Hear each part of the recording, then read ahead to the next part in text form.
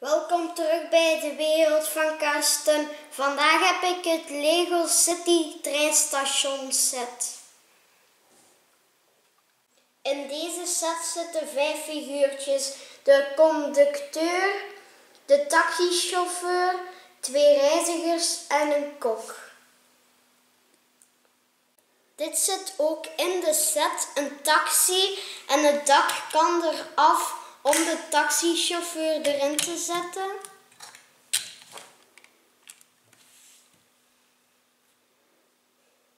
Dit is het station en die heeft een fietsenrek met een perron met twee vuilbakken en twee stoelen en spoor. En aan deze kant is er een Lego winkel en aan die kant is een bistro en in het midden is de ingang van het station met twee deuren.